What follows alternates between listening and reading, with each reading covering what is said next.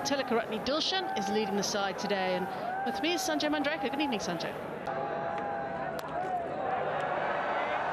He's managed to squeeze that out towards backward square leg. He's done very well there. Much straighter on this occasion. I've seen this so many times it did when cricket when a bowler just wants to vary things, wants to do something different after two balls, slightly fuller outside the off, some goes short and into the body and pays the price for it. Tendai applauds.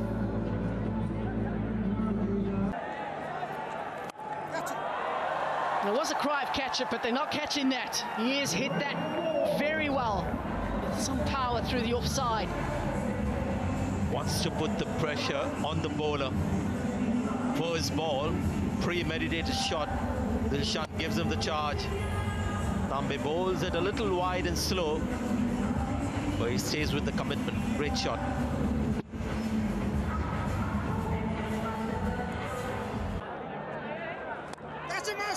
Oh, has he just missed a little opportunity there? Ashley Nurse into the attack, which is an interesting choice at this stage. Yeah, considering there are two right-handers out there. And the boundaries aren't too long on the leg side.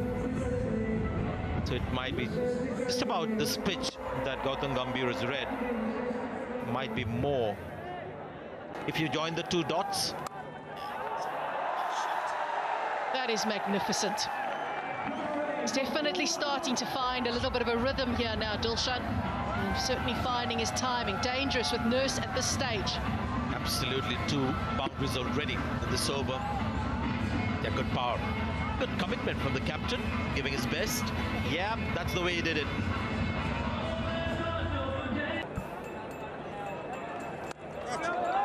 He's got that straight and he's nailed it. This one finally comes from the middle of the bat. It's 91 for six. Oh, Dilshan. Well, it's four, and Mark Waugh, you can uh, describe it. Well, it looked like a double backhand volley, actually. High at the net. And uh, he's got lucky there, Dilshan. Pop edged it over the keeper's head.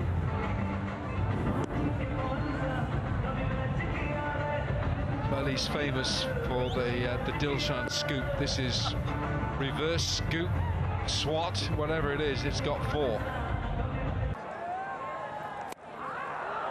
Waits for it, finds the spot, and clubs it for four. Dilshan. I reckon that's the best shot of the inning so far for Dilshan.